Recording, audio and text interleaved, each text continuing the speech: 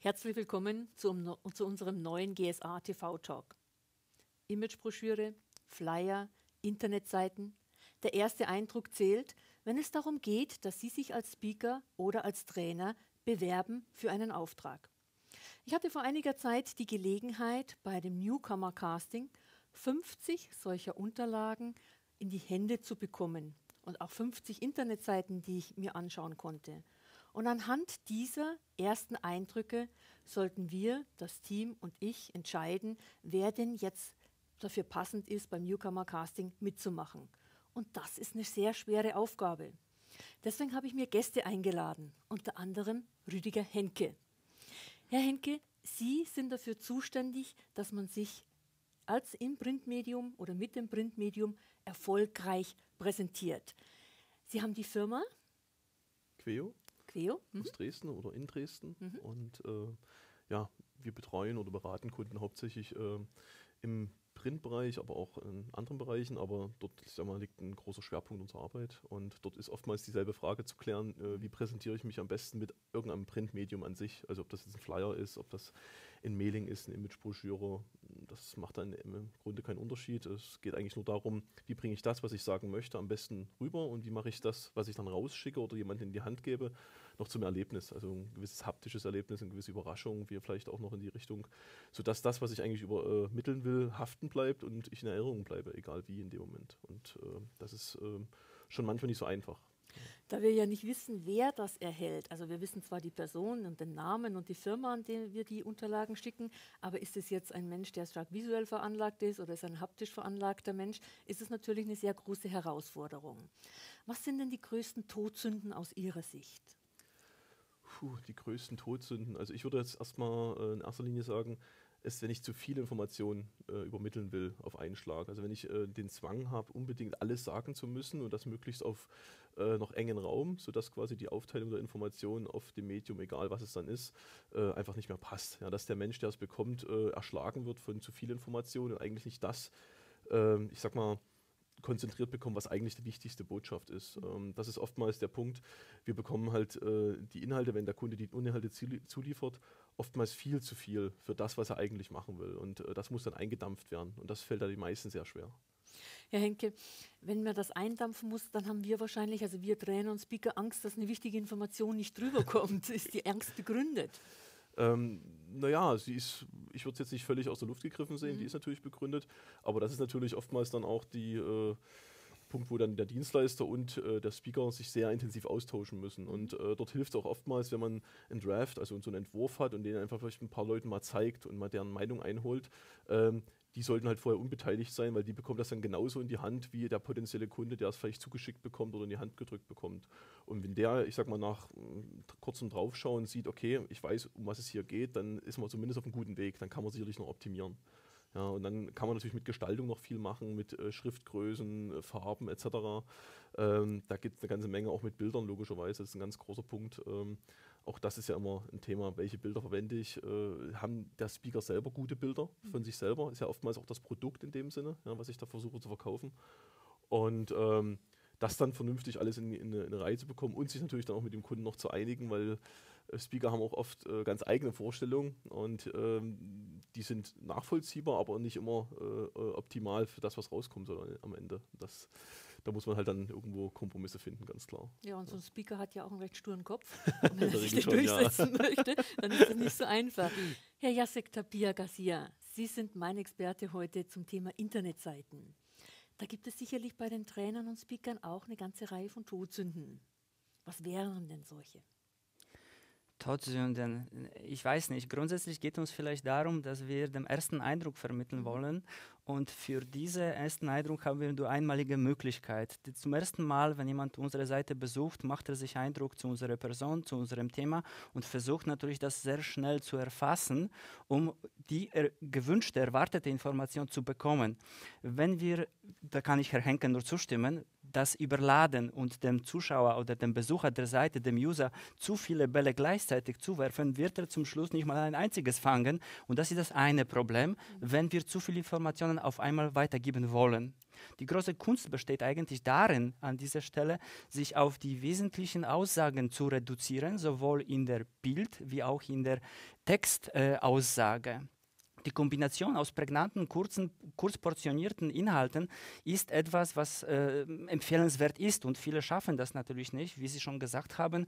Man versucht so vieles von sich zu geben, weil man so viel mitbringt mit sich und mit eigenem Thema. Das ist aber sehr schwer, auf einen Schlag jemandem weiterzugeben.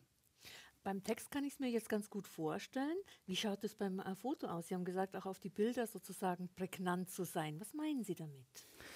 Was ich damit meine, ist, dass es, es, gibt sehr, sehr viele Fotos, was die Speaker praktisch durch äh, Zuschauer oder durch Bekannte, durch Handykameras irgendwo aus, sag ich mal, aus der Hüfte geschossen haben.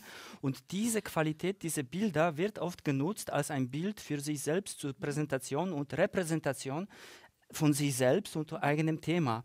Und das wird dem nicht gerecht, weil wir müssen die Verständnis bringen, dass die Leitmotive, die wichtigen Eröffnungsbilder, wie wir sie heute in visuellen Kommunikation bekommen, von mittelständischen und von großen Unternehmen, sie sind natürlich perfekt ausgeleuchtet. Sie sind gestylt, sie sind postproduziert, sie sind hochgepusht. Und das alles kann so ein zufälliges, spontanes Foto nicht leisten. Das heißt, man braucht für einen guten ersten Eindruck auch ein gutes Bildmaterial, was nicht einfach so ähm, zufällig entstanden ist. Ja. ja. Man muss sich einfach dafür Zeit nehmen, einen speziellen Shooting aufsetzen. Und an dieser Stelle ist mein großes Bedürfnis, den Leuten vielleicht mitzuteilen, dass es ist natürlich schon eine ganz, ganz tolle Geschichte, wenn einem gelingt, eine Kombination aus Präsentation von sich selbst und im gleichen Atemzug irgendeine Art und Weise auf das Thema einzugehen. Wenn es uns gelingt, eine Bilderwelt zu kreieren, die praktisch die zwei Komponenten auf einen Schlag irgendwie schafft zu vermitteln und zu visualisieren, dann wäre natürlich in eine gute Qualität optimale Einstieg in so eine Seite. Das heißt, hier brauchen wir Experten. Und einen Experten haben wir uns noch dazu eingeladen, nämlich wenn es darum geht, richtige Speaker, passende Speaker für deine Kunden zu finden. Siegfried Heider von Expert for Events. Du suchst für deine Kunden Speaker, manchmal auch Trainer aus und manche davon kennst du persönlich, da ist es ein bisschen leichter, aber den einen oder anderen erlebst du auch zum ersten Mal durch das, was er dir gedruckt oder eben per Internetseite zukommen lässt. Was hast du schon erlebt? Was ist so ein Horrorszenario, wo du sagst, oje, oje, jetzt warum gerade das? Äh, generell ist es so, dass ich die Geschichte, die der Speaker mir erzählt, ja weitererzählen muss. Mhm. Das heißt, wenn ich etwas erlebe, äh, eine Story zu einem Thema, zu einem Produkt, wofür der Speaker steht, dann muss mich das selbst so fesseln, dass ich es in etwa in dieser Energie und in, diesem, in dieser Begeisterungsfähigkeit meinem Kunden weitergebe, weil ich verkaufe am Schluss an den Kunden. Und da scheitert es manchmal schon. Ähm, äh, ich weiß, dass die beiden Herren, wenn sie Kunden bekommen, immer erstmal äh, nicht auf die Bilder sich stürzen und nicht auf die Texte, sondern eigentlich eine Ebene höher gehen und sagen, wofür steht jemand eigentlich? Was ist denn deine Positionierung? Wofür bist du Experte? Was ist deine Story? Wie sieht dein Elevator-Pitch aus? Äh, was ist dein, dein Markenkern äh, im Markenei? Welche, welche Wörter sind denn eigentlich zu dem, was du magst, passend? Und wenn das sauber gemacht ist, dann kommt die Story zu mir, dann verstehe ich sie auch dann kriege ich sie auch in meinen Kopf, in mein Herz und dann kann ich sie auch rübergeben an meinen Kunden. Das, dass das gar nicht vorhanden ist, ist eigentlich die Lücke, die ich oft feststelle. Dass diese Story gar nicht klar ist, dass die einmal so kommt und beim nächsten Mal anders, dass da keine Kontinuität drin ist, dass ich auch in der Außenwirkung, Farbe, Design, äh, die Website anschaue, den Flyer und denke mir, ist das die gleiche Person? Äh, kann eigentlich nicht passen. Also da, da muss eine Linie drin sein, etwas zu erzählen sein und dann kann ich es auch weiterverkaufen. Und heißt es, dass sehr viele der Trainer und Speaker, die sozusagen dir dann ihre Bewerbungsunterlagen geben, auf Dinge achten, die sie vom Hörensagen her kennen und gar nicht so auf ihre eigene Persönlichkeit und ihre eigene Geschichte und ihr eigenes USP? Ja, wenn die meisten einen wirklichen USP hätten mhm. oder ihn kommunizieren könnten, wären wir ja schon ganz schön weit. Der, auch da ist es oft sehr, sehr ähm, ähm, klamm. Und ich erinnere mich da äh, immer an den Randy Gage, den wir mal in Deutschland hatten, den amerikanischen Speaker, der immer gesagt hat, äh, in der ganzen Kundenkommunikation geht ein Satz, Benefits Lead, Feature Substantiate. Heißt übersetzt, Nutzen an erste Stelle, was habe ich davon, wenn ich jemanden kaufe oder buche ähm, und dann Eigenschaften dazu. Wie ist jemand auf der Bühne? Welche Awards hat jemand? Welche Doktortitel? Welche äh, Referenzen? Welche Testimonials? Ähm, in der Reihenfolge. äh, die, die, die größte Warum kauft eigentlich jemand einen Speaker? Das muss man vielleicht bei der Betrachtung der ganzen Kommunikationsmittel mal, mal sehen.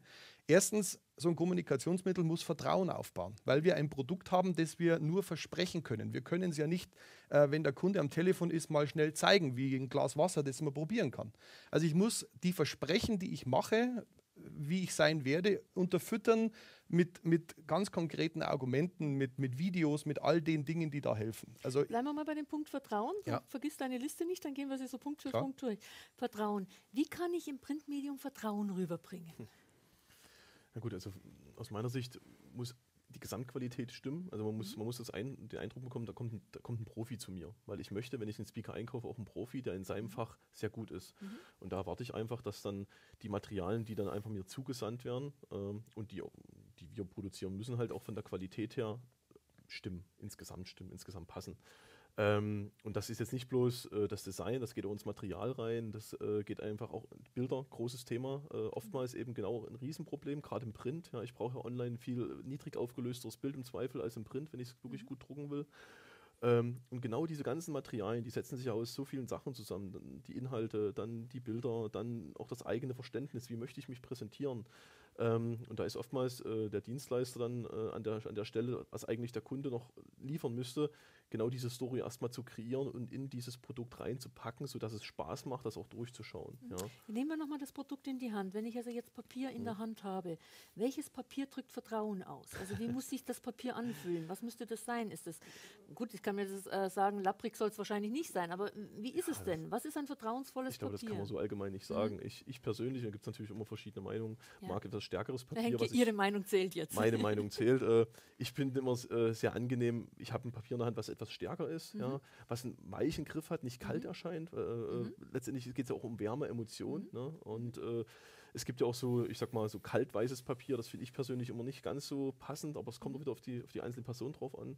Und natürlich, dass das äh, Papier entsprechend ordentlich verarbeitet wurde. Also, mhm. dass es vernünftig bedruckt wurde, dass es, äh, wenn es ein Flyer ist oder von mir aus ein anderes Mailing, dass es halt vernünftig verarbeitet wurde.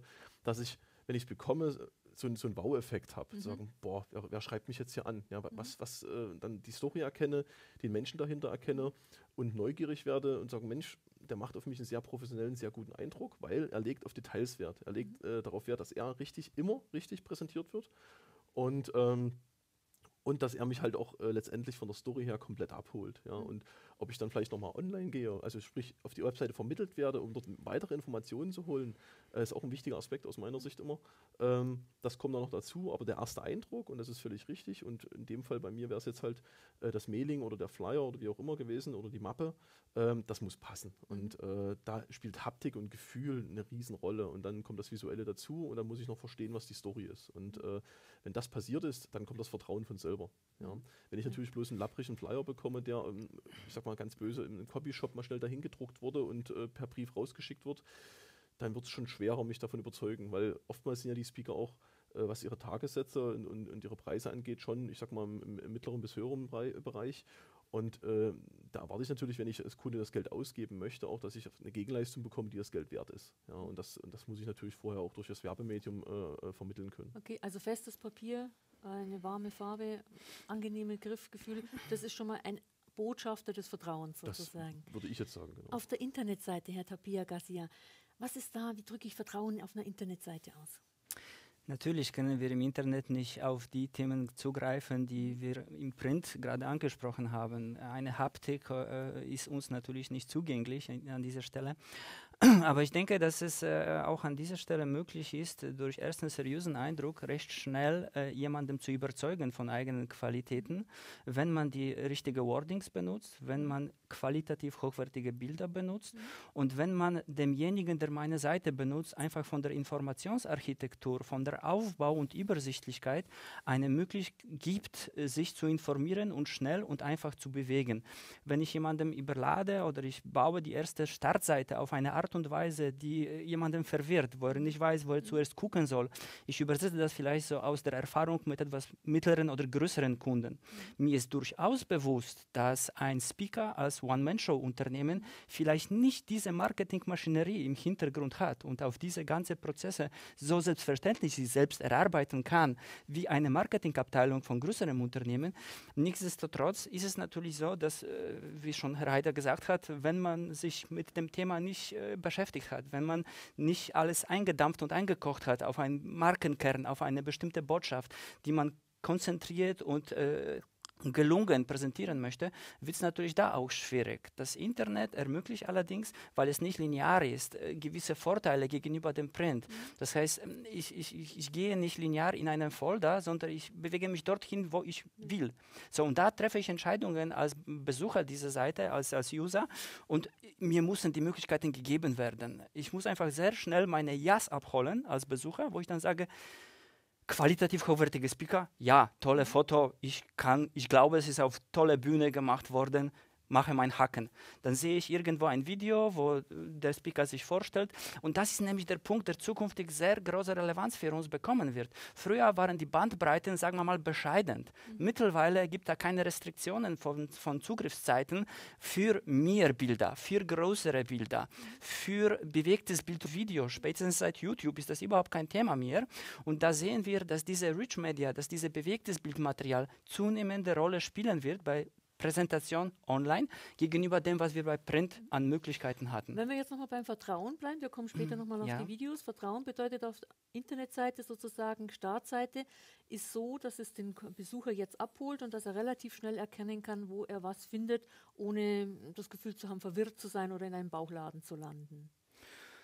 Im Prinzip schon. Also ich denke schon, dass es eine sehr große Rolle spielt, jemandem, der mich auf meine Seite durch URL oder Marketing, durch Suchmaschinenmarketing, wie auch immer er auf meine Seite kommt, oder aufgrund des Flyers, was ich dann ja. bekommen habe, gehe ich auf die und möchte meine Informationen vertiefen. Natürlich kann ein Flyer mit, äh, sage ich mal, bescheidenem Umfang von sechs Seiten nicht die gesamte Info wiedergeben. Es hat die Funktion, Übersicht, kurz und äh, qualitativ hochwertig teasen so, genau. und dann lande ich auf meine Seite. Da habe ich die Möglichkeit, das zu vertiefen.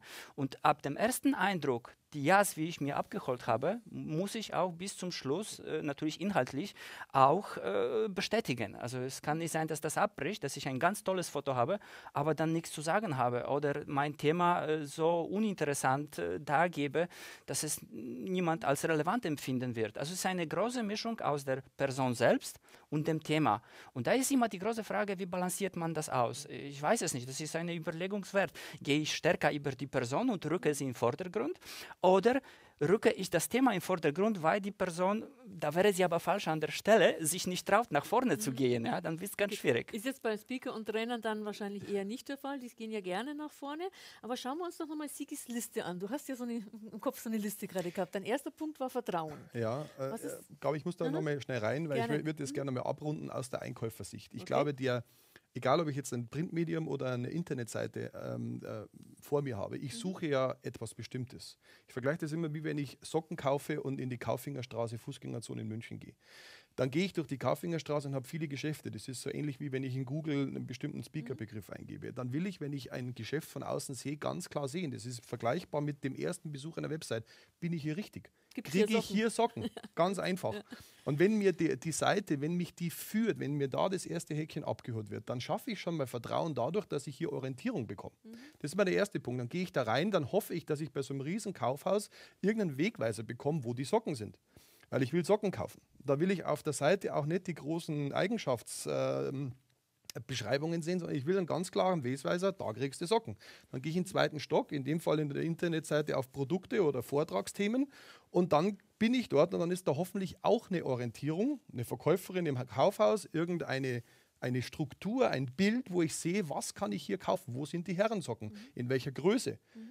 Und dann bin ich am richtigen, richtigen Regal und dann rufe ich an beim Speaker oder ich gehe zur Kasse und kaufe die Socken. Also diese Dinge müssen mir als Besucher, wo ich gar keine Lust und Zeit habe, mich groß selbst zu orientieren, die muss mich führen. Und dann verkauft die Seite auch. Die meisten Speaker-Seiten verkaufen nicht, weil viele Leute sich sozusagen äh, desillusioniert ein bisschen abwenden und gucken, ob es irgendein Geschäft gibt, die besser strukturiert sind. Mhm.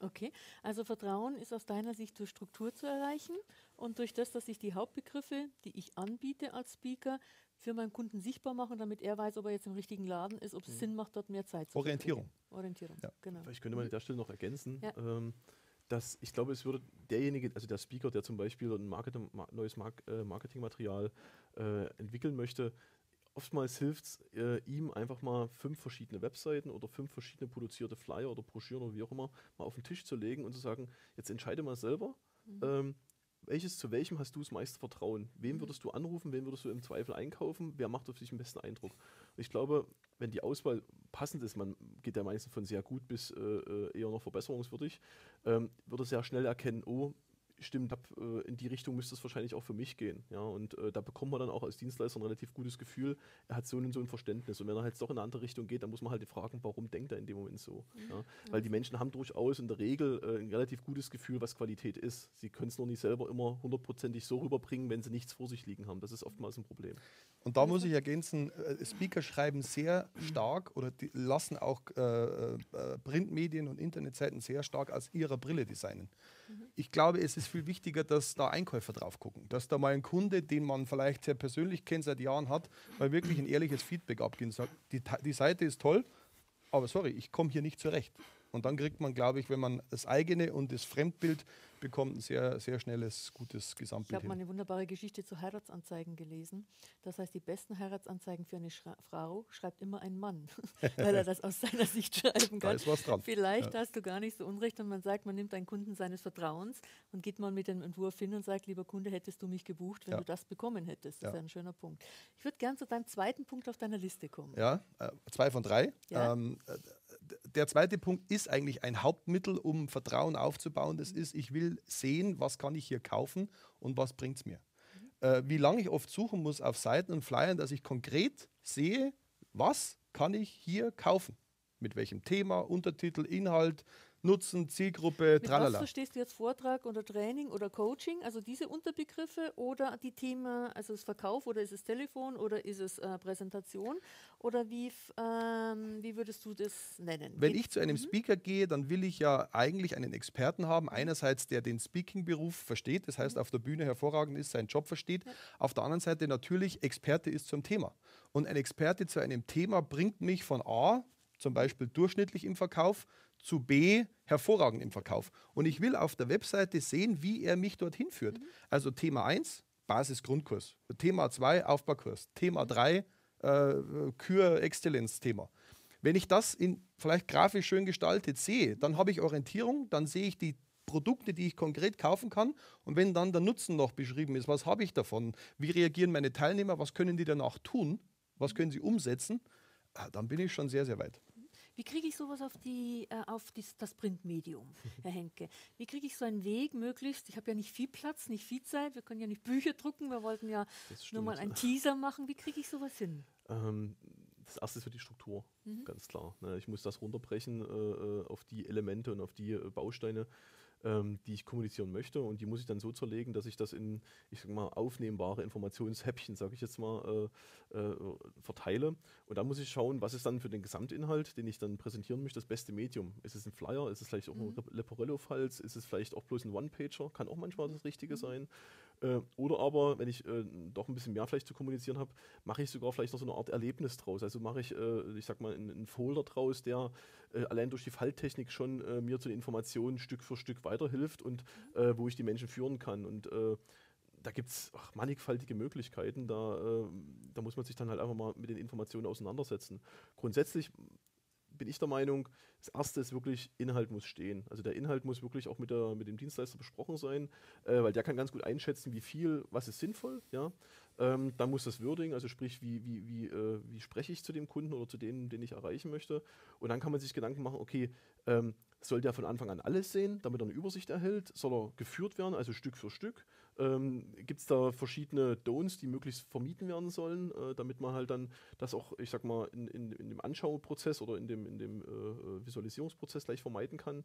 Ähm, und das, das muss man halt dann entsprechend mit den Kunden und vielleicht sogar schon, was wir vorhin hatten, das Thema, vielleicht sogar mit potenziellen Kunden, die letztendlich das Mailing auch bekommen oder von mir aus die Broschüre oder den Folder, ähm, auch schon mal sagen, hier, wenn du das bekommen würdest, wie würdest du das jetzt anschauen? Ja, und äh, dann kann man äh, wieder sagen, okay, dann lass uns das anders falten oder lass uns anderes Material nehmen oder von mir aus machen wir dann eine Box lieber draus mit irgendwelchen Einlegern oder wie auch, immer. Ist es auch sinnvoll, das pro Produkt zu machen, dass es gar nicht so sinnvoll ist, jedes Produkt, das ich anbiete, man das hat ja oft zwei, drei Themen, na, äh, in eines reinzupacken? Ist es lieber geschickter? Sowas wie eine, ähnlich wie eine Landingpage sozusagen für das Produkt jetzt im Internet? Was meinen Sie, Herr Henke? Puh, das ist schwer so allgemein mhm. zu sagen. Also ich glaube, das kommt auf die Komplexität des Themas drauf an und äh, was der Trainer auch für eigene Ziele hat. Ja. Möchte er eher Pakete verkaufen, mhm. losgelöste Pakete, die ja. er beim Kunden auch losgelöst platziert, dann kann das durchaus Sinn machen, ja, weil dann äh, reduziere ich gesamt die Informationen und habe natürlich die größere Chance, dass der Kunde es auch besser versteht. Wenn er sagt, ich verkaufe zum Beispiel so eine Art, äh, eine Reihe von, von Seminaren oder sowas, dann sollte es schon irgendwie, aus meiner Sicht macht es dann Sinn, äh, den Überblick zu geben mhm. und zu sagen, das kann ich dir, weil ich begleite ja den Kunden dann auch auf einen längeren Weg. Ja? Und der Kunde sollte schon wissen, wenn ich den jetzt einmal einkaufe, dann ist eben nicht mit einem Seminar oder mit einem äh, Event alles abgedeckt, sondern es müsste halt weitergehen und das muss der Kunde natürlich wissen. Mhm. Und ähm, das kann ich auch in verschiedenen Wegen dann machen. Ja. Aber gerade im Print, ähm, da kann man unheimlich viele kreative Dinge machen. Ist natürlich am Ende auch immer eine Budgetfrage, das ist ganz klar. Ja. ja. Mhm. Ähm, aber da sind eigentlich keine Grenzen gesetzt. Und ähm, dort kommt es auch immer darauf an, wie überreiche ich. Wissen die Leute schon, dass sowas kommt? Dann muss man vielleicht noch ganz anders reingehen von der Kommunikation. Ist es eher in Richtung Kaltakquise? Dann muss ich die Leute auch vielleicht erstmal überraschen, neugierig machen, dass es überhaupt in der Hand bleibt. Das mhm. ist das nächste dann. Ja. Ähm, und äh, da muss ich halt entscheiden, wie ich dann die Informationen entsprechend aufbaue und wie ich das Produkt entsprechend gestalte. Schauen wir es uns mal von der Seite der Internetseite wieder her an, die ja im Gegensatz zur Printmedium doch ein bisschen leichter die Möglichkeit hat, diese fünf Schritte meines Basistrainings oder diese fünf Schritte meiner Folgevorträge aufzuzeigen. Was ist da wichtig, dass man das gut erkennen kann? Im Prinzip äh, geht es um grundsätzlich um Aufbau der Hauptnavigation mhm. aus meiner Sicht. Wir haben die große Tendenz momentan im Internet zu einer horizontalen Navigation. Mhm. Und wenn wir die einschränken, wenn es uns gelingt, diese auf maximal sieben Punkte einzuschränken. Horizontal bedeutet, dass ich oben sieben Führungspunkte genau, habe? In, in der waagerechten in der praktisch. So. Ja, und, und wenn es uns gelingt, so sauber die zu benennen, diese mhm. Punkte, vor dem Hintergrund unseres äh, Angebots und unseres, äh, zum, zum sich selbst als Speaker zu sagen äh, und, und die Relevante schon dort zu platzieren, damit der Weg sich für den Zuschauer oder Betrachter oder den User sofort verkürzt, dass ich mir sehr schnell dorthin komme, wo ich eigentlich gehen wollte, um mhm. es erfahren wollte. Egal, ob es in dem Fall die Referenzen sind oder ein bestimmtes Produkt oder das Thema selbst oder zu Person. Ich muss einfach sehr schnelle Wege dem jemandem zu ermöglichen, zu gewünschter Info. Zu, also ich, ich habe eigentlich die Aufgabe nur, die Jas sich abzuholen und ihn dorthin sehr schnell zu bringen, wo er sein will. Mhm. So es gibt tausende Regeln, die wir schon alle eigentlich aus dem Internet äh, sicherlich verinnerlicht haben.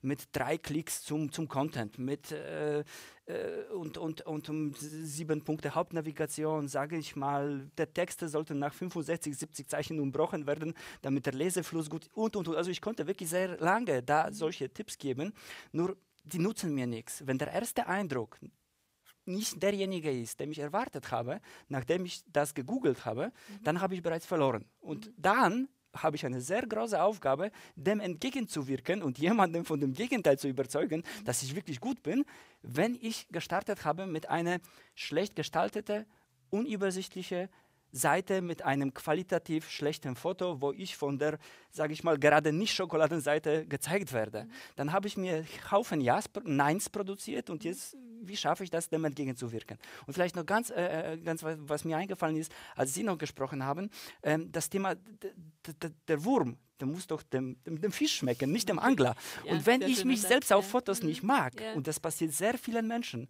dann spielt das leider nicht so entscheidende Rolle. Mhm. Denn sobald die Personen um meine Zielgruppen mich sympathisch finden auf dem Foto, dann ist das die Aufgabe der Kommunikation, das zu erreichen, dass ich dort mein Ja abhole. Mhm. Und ob ich mich mag oder nicht, selbst auf dem Foto, ist, es wäre schon toll, wenn ich auch dazu stehen kann und ja. mich selbst mag. Aber prinzipiell ist es wirklich wichtig, dass man da draußen sich die Ja's und die Kunden abholt und bestätigt, dass sie suchen und den Appell ergänzt. Ich, ja. äh, oft ich suche nach einer Kontaktinformation. Ich habe Hunger, ich bin im richtigen Laden, ich will kaufen und dann suche ich nach Telefonnummer, E-Mail und sonst irgendwas. Äh, und brech ab. Wie schade ist das? Also das darf nicht passieren. Da muss auf jeder Seite ganz klarer Appell, rufen Sie an, äh, book me now, dezent oder direkt. Oder kaufen oder was auch immer. Dein dritter Punkt auf deiner Liste. Ja, der dritte Punkt ist ein übergreifender Punkt, weil das ist genau dieses, äh, der geht in die USP-Richtung. Ich muss, egal was ich print, online mache oder als Produkt selbst bin, immer ein Stückchen anders sein als die Norm. Das mhm. kennen wir alle äh, keine Website, die so ausschaut, wie die meisten äh, begeistert so richtig, kein Printmedium, das äh, die üblichen Maße hat und nichts Besonderes hat. Also die, dieser kleine Kick, der nicht viel sein muss, 3% über dem Durchschnitt vielleicht, den muss ich erkennen können. Das kann über Farben, über alle möglichen, über Wörter, über Botschaften, über Bilder, ist völlig egal. Da muss was drin sein, wo ich als, als Einkäufer sage, das reizt mich, das ist der Unterschied. Und ich sage immer, Speaker sind meistens empfehlenswert. Das heißt, sie sind gut auf der Bühne, sie, sie, sie machen ein gutes Produktangebot, alles gut, aber sie sind oft nicht empfehlensfähig. Mhm. Im Amerikanischen heißt es recommendable, also fähig sein, jemanden zu empfehlen, steckt da ja auch drin. Und ich als, als Vermittler muss ja fähig sein, diese Person zu empfehlen. Das heißt, ich brauche die Kommunikationsmittel, ich brauche die richtigen Botschaften, ich brauche den Nutzen. Das muss Vertrauen bilden, nicht nur bei mir, sondern ich muss es weitergeben können und ein Stückchen anders sein. Dann hat man den Auftrag schon fast in der Tasche. Also empfehlungsfähig zu sein und sich etwas zu unterscheiden durch etwas, was ein bisschen anders ist als bei dem anderen. Was ja mit einem Satz immer sehr leicht gesagt ist, nur wie ist es getan?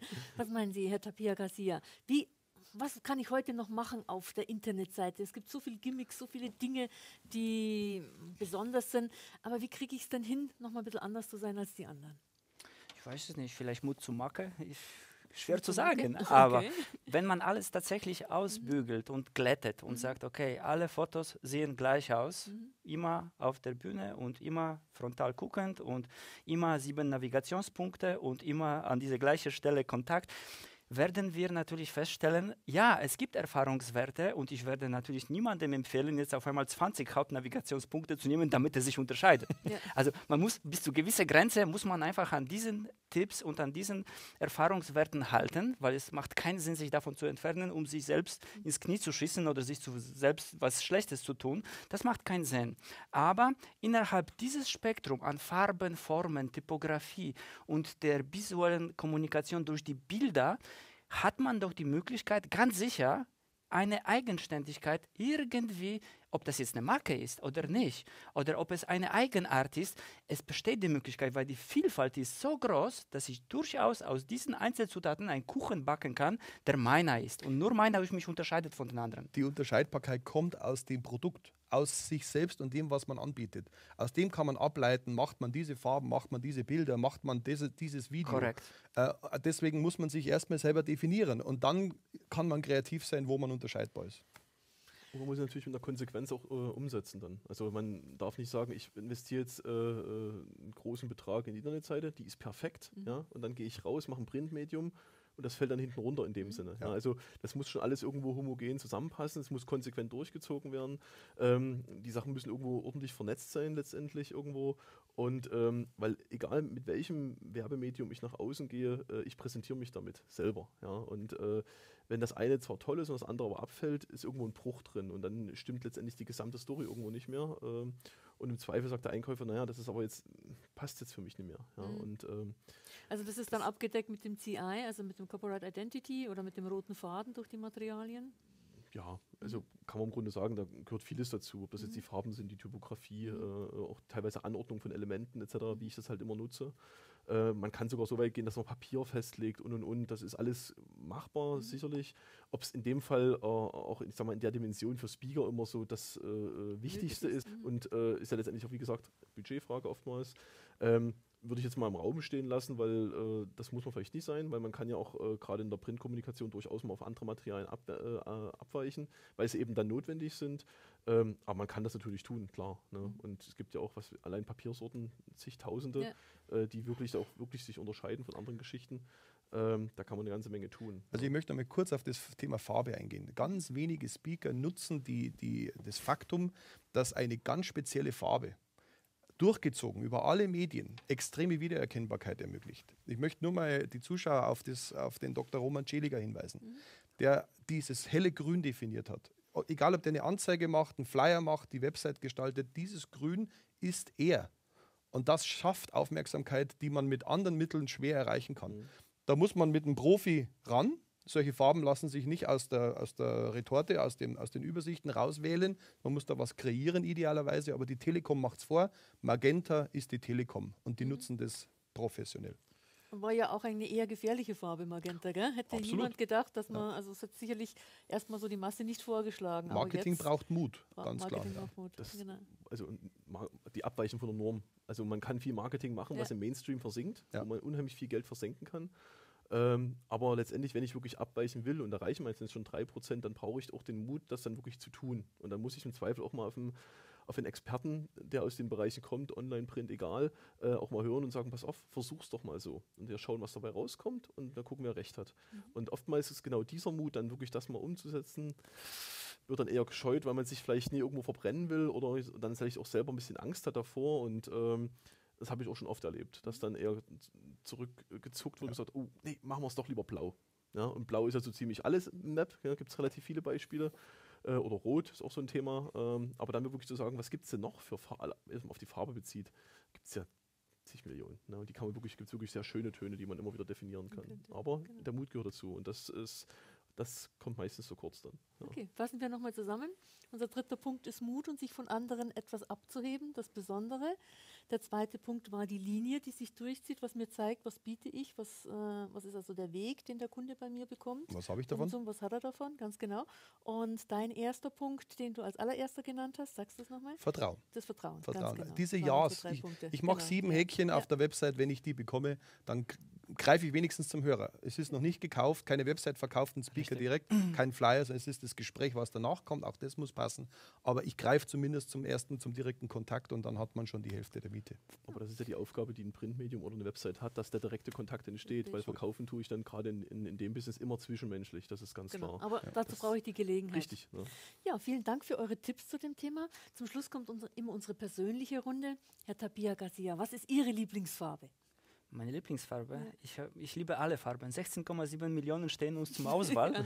und ich muss Ihnen wirklich sagen, ich liebe alle Farben. Für mich gibt es keine schlechte Farbe. Es ist nur die Frage, für was und mhm. zu welchem Zweck. Also wenn ich Lieblingsfarbe habe, die ich am Abend zum Galadiner anziehe, mhm. dann wird das nicht grün sein. Mhm. Und wenn ich jetzt mit meinen Kindern spiele, dann habe ich 30 verschiedene Farben, weil ich so viele bunte Bälle brauche. Also ich liebe alle Farben, ich habe keine Lieblingsfarbe. Alle Farben sind toll, es ist nur die Frage, wann und wo. Mhm. Wenn Sie persönlich nur ein einziges Produkt haben könnten, das Sie einem Kunden schicken würden, was würden Sie dann nehmen? Internetseite, würden Sie in den Flyer nehmen, das Imagebroschüre oder was wäre? Sie kriegen nur ein einziges oder ist es einfach nur die Visitenkarte? Was wäre das Produkt, das Sie nehmen würden? Was ich dann auch als, ja. wenn ich das Speaker wäre ja. und ich müsste es raus... Wenn, nein, Sie in Ihrer Person, Sie in, in Ihrer Person. Person im Bereich Marketing heranken. Das ist schwer, um mhm. Gottes Willen. Also, Sie ähm, kriegen nur eins. Ich krieg nur eins. Ja. Ah. Internetseite, habe ich einen Tipp für Sie. Ja, ja. Ich würde wahrscheinlich sogar äh, sagen, irgendein digitales Online-Medium sollte es sein, weil äh, ich da, das bringt die Zeit mit sich und äh, wir sind heutzutage alles sehr online-affin unterwegs. Mhm. Und ähm, ich bin dort einfach äh, langfristig flexibler, ja, was das angeht. Und äh, Printmedien sind halt für einen Zeitpunkt und für eine Überraschung sehr gut. Ja. Aber letztendlich, was mache ich mit einem Printmedium? Ich verweise meistens auf eine Webseite, weil ich dort einfach mehr Informationen, aktuellere Informationen, ich kann sie schneller ändern und und und unterbringen kann. Ich kann multimedial unterwegs sein. Ähm, das lässt sich im Print heutzutage noch nicht. Ich meine, wir schauen mal, wo es hingeht mit mhm. E-Paper. Von daher würde ich schon wahrscheinlich zu einer Website tendieren, wenn die gut gemacht ist äh, und ich jemanden zum Beispiel äh, äh, sage, hier schau mal drauf und der kann dort überzeugt werden, ist das meistens auch das Medium der Wahl heutzutage. Es ist einfach weltweit erreichbar, 24 Stunden und das kann ich Print halt nie immer gewährleisten. Da hat Print halt Grenzen, ganz klar. Ja. Okay. Wunderbar, die Internetseite. Du hast die Möglichkeit, eine Internetseite zu kreieren und du sollst etwas Persönliches drauf tun. Etwas, was dich darstellt, wo man sagt, das ist der Sigi, den, der persönliche Mensch. Was würdest du da drauf packen? Von mir persönlich? Mhm. Also meine Zielgruppen äh, im Speaker-Bereich sind ja Referenten, die besser werden wollen, mehr Aufträge haben wollen. Ich coach die ja. Und äh, ich würde denen draufsetzen ein Video, wo ich ihnen erkläre, warum sie meinen Coaching-Versprechen vertrauen können, mhm. was sie davon haben, in welcher Reihenfolge wir sie vom durchschnittlichen Speaker zum Top-Speaker bringen und was das Außergewöhnliche an meinen Inhalten und an meiner Person ist. Okay. Und wenn wir jetzt mal ganz auf dich persönlich zurückkommen, würdest du deine Kinder mit drauf tun, würdest du deine Frau mit drauf tun? Oder was ist das, wo du sagst, das ist ein Symbol für den Sigi? Oder Gold? Ich glaube, ich würde, das hört sich jetzt sehr sachlich an, äh, nichts Persönliches drauf tun, weil ich äh, okay. äh, finde, Persönliches und Privates ist privat und Business ist Business. Und bei mir geht es beim Marketing immer um Umsatz. Mhm. Äh, alles andere ist Spielerei. Mhm. Wir machen jede Aktion, jeden Flyer, jede Website, um Umsatz zu machen. Mhm. Und deswegen würde ich wahrscheinlich einen Goldbarren mitnehmen oder eine okay. Geldkassette oder einen 100-Euro-Schein, ja. weil das ist das Ziel. Und alles, was wir tun, muss sich darauf ausrichten. Wobei das ein sehr schönes Sch äh, Schlusswort ist. Liebe Zuschauer, es geht wirklich darum zu sagen, ist das, was ich mache, meine Internetseite, mein Flyer, mein Printmedium, ist da der erste Eindruck so, dass ich damit ein Goldbahn verdiene? Ich denke, dazu haben Sie heute viele Antworten bekommen. Nochmal herzlichen Dank an meine Gäste. Bis zum nächsten Mal, wenn es wieder darum geht, dass Sie einschalten zum GSA TV Talk. Auf Wiederhören.